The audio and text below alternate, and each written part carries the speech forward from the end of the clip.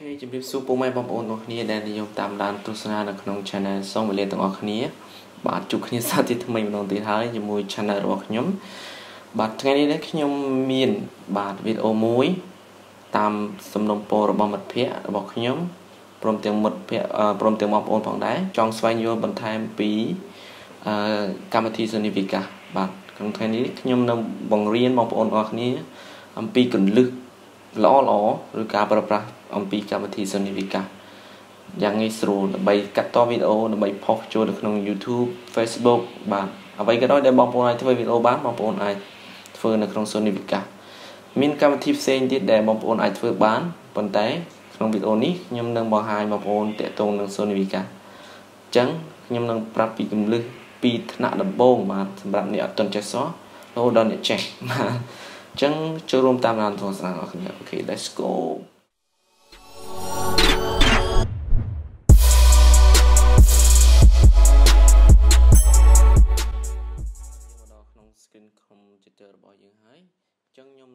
ពី function នីមួយៗឬក៏ផ្នែកនីមួយៗនៃកម្មវិធី Sony Vica បាទដូចបងប្អូនឃើញក្នុង screen computer អញ្ចឹងអញ្ចឹងទីជំហានដំបូងខ្ញុំសូមបង្ហាញពីចំណុចខាងលើនេះជាមួយទាំងអស់នេះហើយនឹងកម្មវិធីទាំងអស់នេះជាមុនសិនដើម្បីស្វែងយល់ដល់បងប្អូនផងដែរហើយចំណុចខាងក្រោមជាចំណុចចុងក្រោយអូខេអញ្ចឹងជាដំបូងតកតងនឹង file បាទ file Sony Vica វាមាន file របស់វា អូខេ file ហ្នឹងគឺវាមានដូចជាបើបងបងប្អូនចុចក្នុង file អញ្ចឹងវាមានពាក្យថា new បាទ open close save save as and render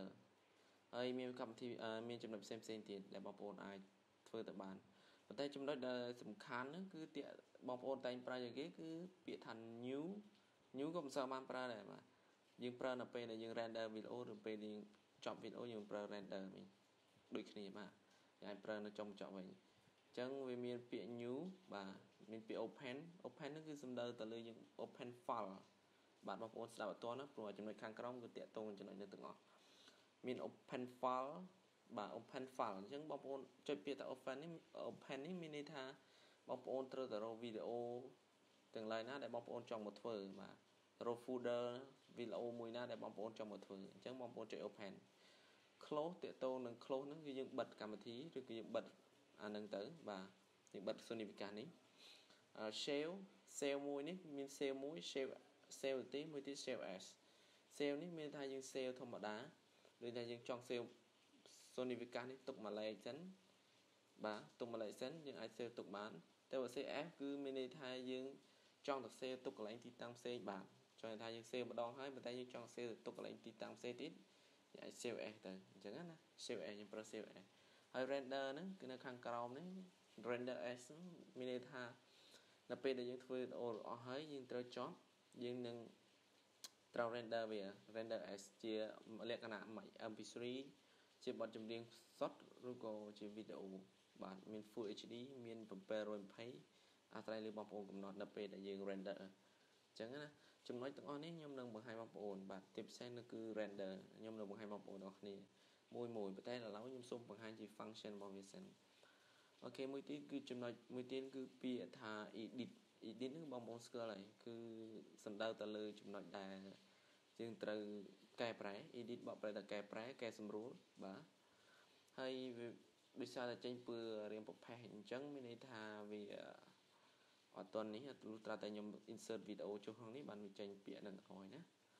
ហើយ undo បាទ undo មានន័យថាបើសិនយើងធ្វើខុសយើងប្រើយើងចុច undo វិញមកវាត្រឡប់មកវិញណាឬក៏ក្នុង keyboard យើង control set បាទហើយមួយទៀតនឹង redo redo យើងត្រឡប់ទៅវិញបាទមានថាយើងអត់ចង់គេថាខុសហើយតែអាចទួយកបានអញ្ចឹងយើងចុចពាក្យ redo ទៅវិញណាយ៉ាងមានអញ្ចឹងយើងត្រឡប់ទៅវិញ ហើយបន្ទាប់មកទៀតវាមាន cut មាន copy អញ្ចឹងបងប្អូនស្គាល់ហើយបាទ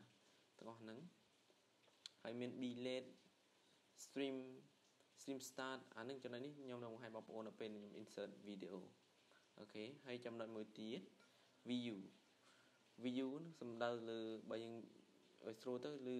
view screen ទាំងអស់ហ្នឹង screen នៅក្នុង Sony Vica ហ្នឹងចង់និយាយអញ្ចឹងណាប្រទេសភាពគេហៅថាទេសភាពណា view landscape អញ្ចឹងទៅអូខេចឹងវាមាន table អាហ្នឹងគឺគឺវាដល់ពេលដែល install Sony Vegas មកគឺ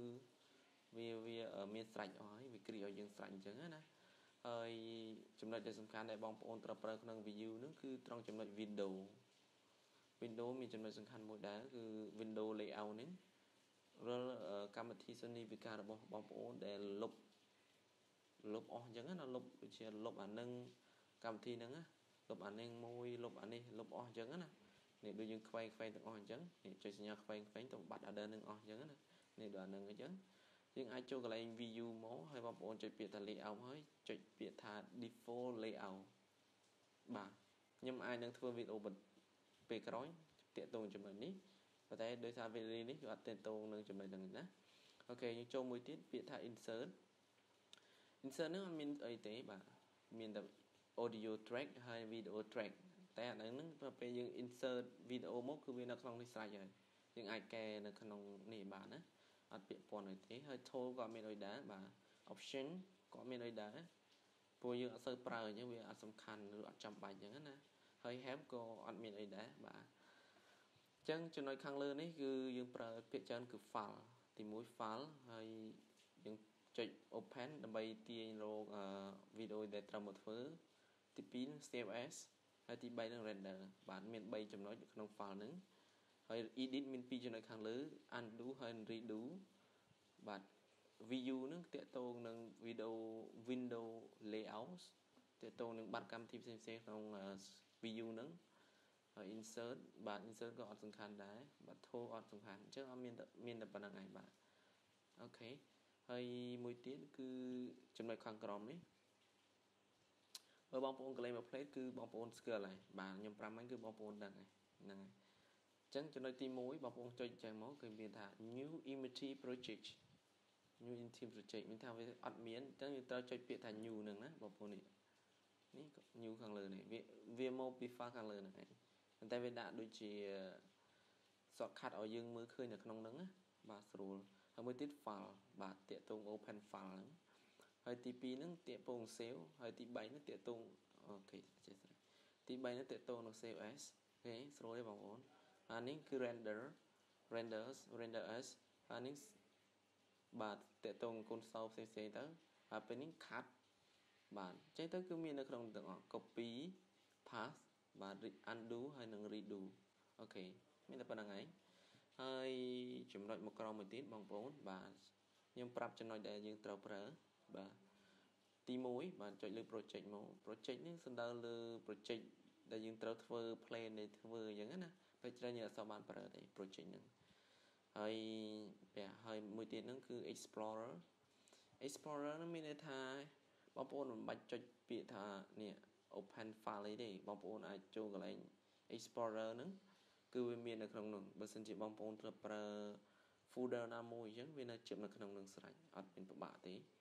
បាទអញ្ចឹងបងប្អូនក៏ select មក folder មួយណាដែលបងប្អូនដែលធ្លាប់ប្រើអញ្ចឹងទៅមកបងប្អូនទាញវីដេអូនេះយកមកដាក់ក្នុងនេះមកគឺបានដូចគ្នាណាអូខេស្រួលហើយមួយទៀត transition